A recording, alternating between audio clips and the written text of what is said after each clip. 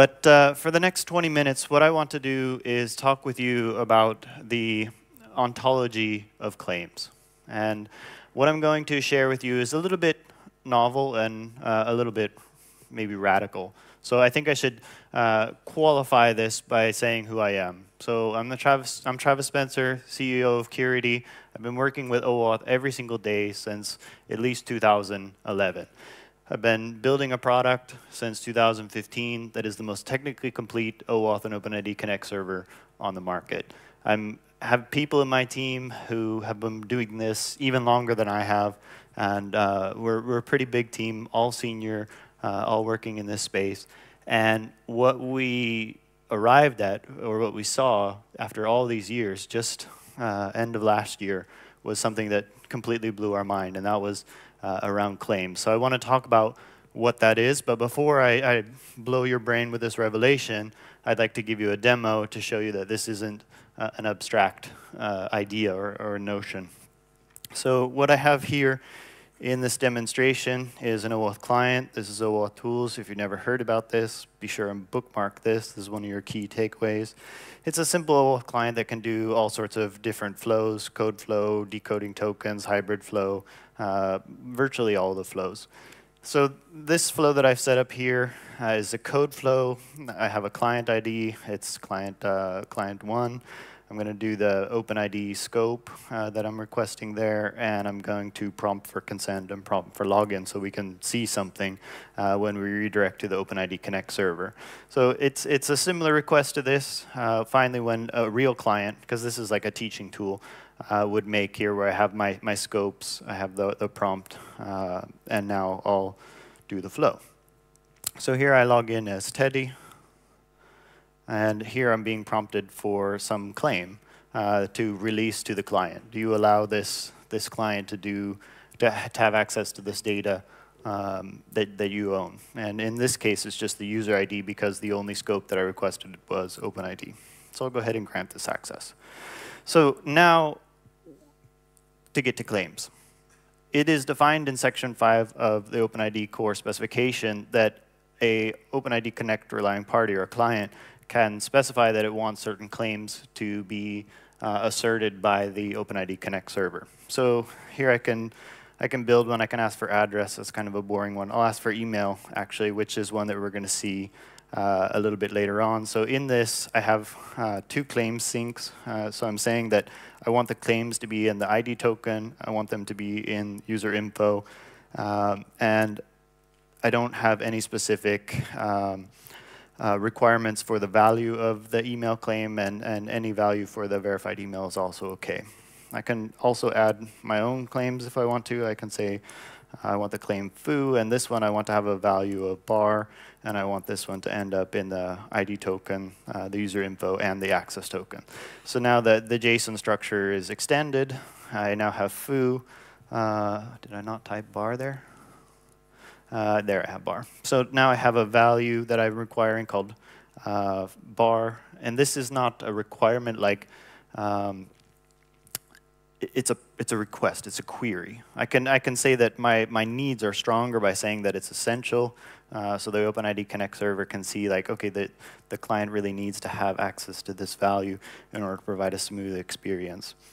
And uh, here I've also specified that I need this, this value of foo, uh, or this claim of foo in the access token. So now if I close this little editor, what happens is the claims that I've specified end up in the claims request parameter that's passed to the authorized endpoint.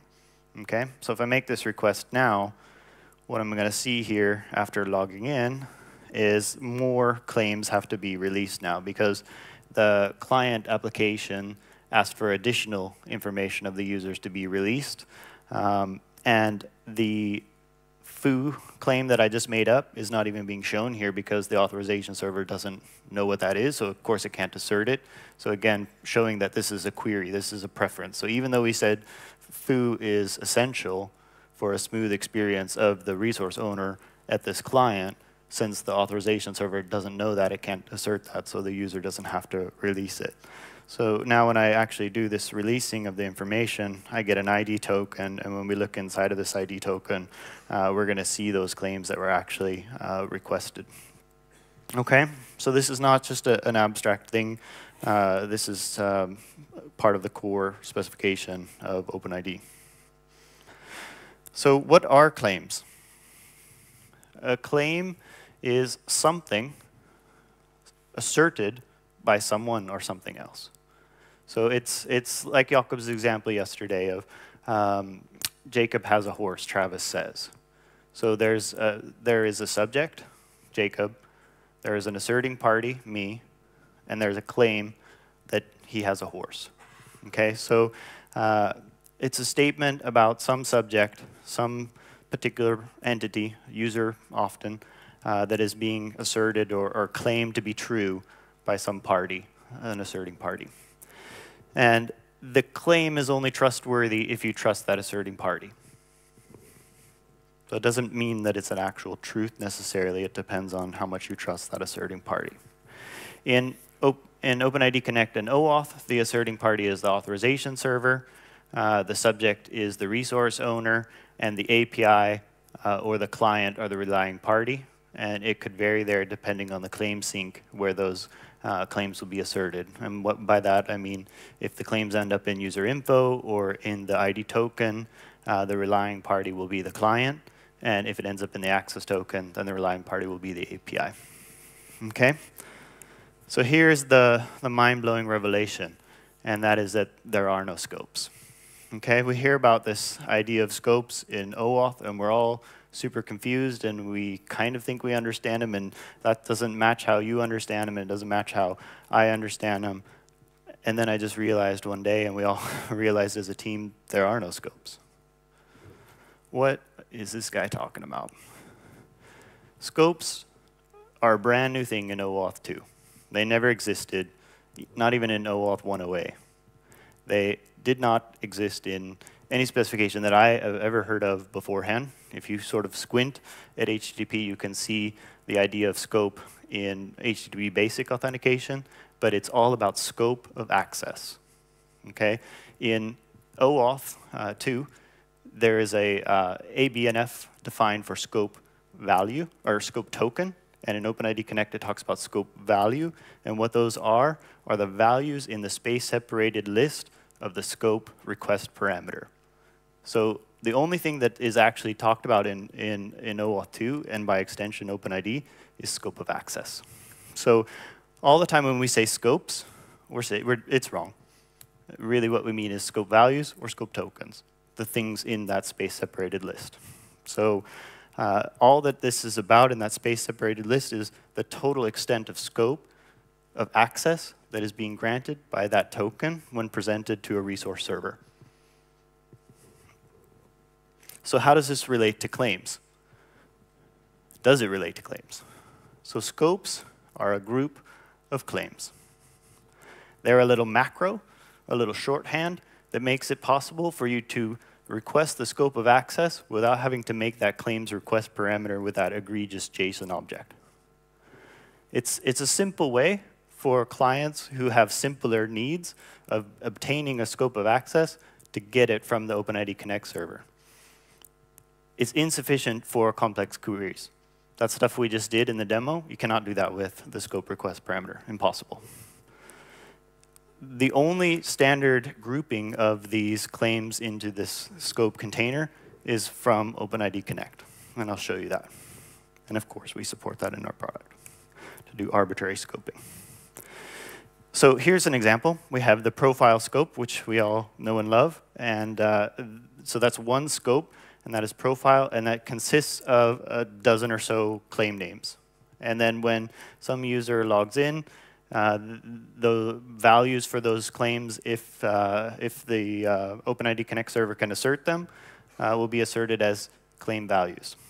Okay, so this is how that grouping takes place. Instead of having to ask for all of those dozen or so different claims, I can simply ask for one scope. That's why I call it like a macro or shorthand. And it works like this for all scopes defined in OpenID Connect. So we have the profile one, we have OpenID as a scope, which there you saw the user had to release uh, to the client access to their user ID. Uh, there's also some system claims that the, the OpenID scope also uh, grants. Offline access is another scope in OpenID, which has no claims, so it's an empty group. We have email, which we just looked at, uh, which has two claims. So remember this one, because I'm going to come back to this one at the end. So if this is new to you, there's a scope called email.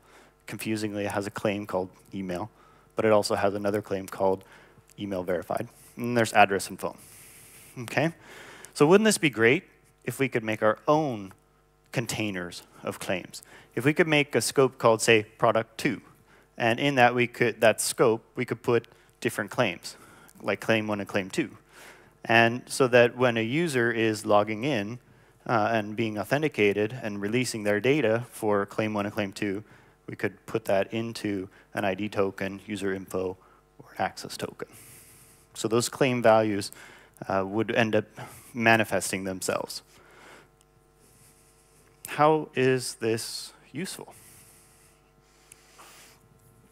So there is less to consent to, right? So if I ask for profile scope, if you can imagine, then you would have to um, actually see all of those in the profile scope as data which uh, the user wants to have access to and that or the, the client wants access to and that could be quite overwhelming for the user to have to approve all of those so instead of making a large request which will be even larger by the way if we're requesting not just profile but address and email and uh, our custom scope of product two that the user will be overwhelmed by that so we can ask for less information to be released. So claims provides a way of reducing the cognitive load on the user as they're doing that authorization uh, by, by reducing it just to what's needed for the current transaction or the, the next set of transactions.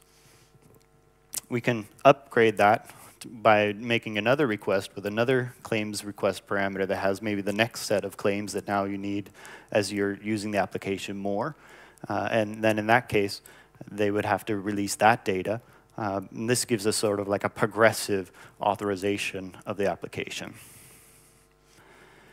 So that, that's one usefulness. The other is that less data is released, right? We're all becoming more uh, concerned around the privacy of the end user, uh, especially here in Europe and in California, where we're having laws that actually require us to be um, using as, as little data and for an exact purpose for a shorter uh, amount of time or for the uh, specific amount of time.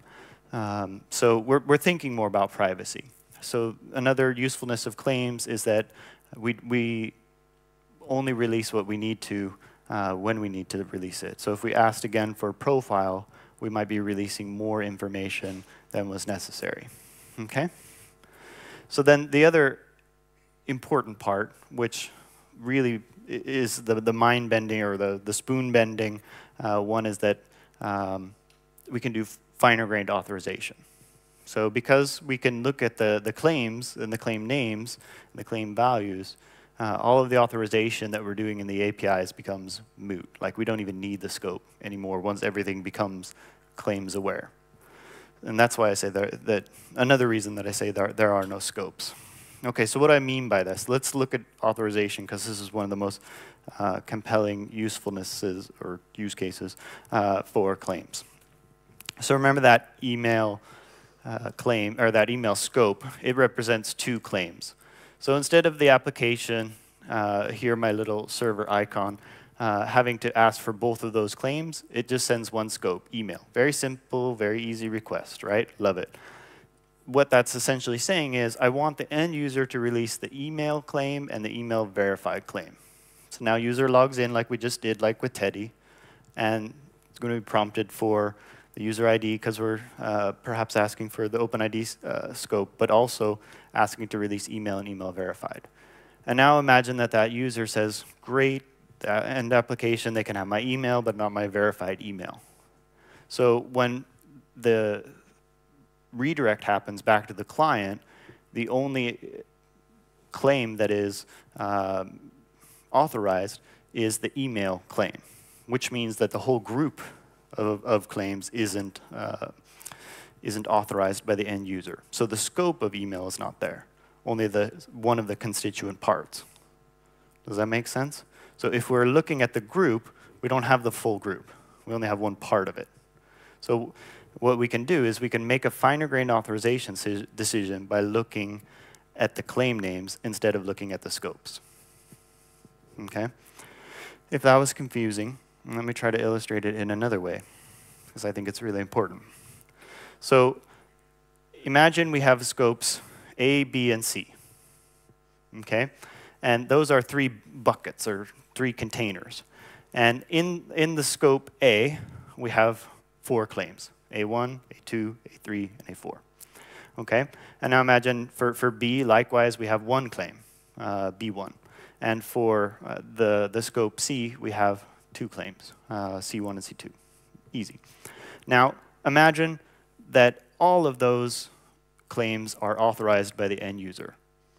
Then, when we're calling an API or looking in the client and making an authorization decision, so ultimately, the decision to release the data lies at the resource server. So it needs to decide, should I allow access or not? So in order to do that, suppose that the, what will authorize you access is if you have the claim C1. Okay?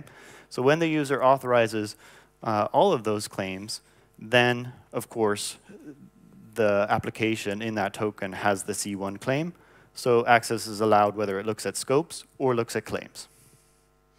But now imagine a case similar where we have the same scopes, we have the same claims, but the user only grants access to A1, A2, and A4. So they don't allow A3. Similar to what we did with the email verified. I don't want the application to have access to my verified email. So in this case, if we're looking at the scopes, we don't have at all the A scope, capital A scope. We just have the, the capital B and capital C scope. But if we look at the claims, we see, look, we have A1, A2, and A4. And all that is needed to authorize this request is that you have the A1 claim. So this is what I mean when I say that you can make a, a more fine-grained authorization decision. So, and this is also why scopes become irrelevant, because once we look at the scope names and or the scope values, we don't even need to pay attention to the scopes anymore. And see, even I say it, scopes anymore. What I mean is the scope values or the scope tokens. Okay.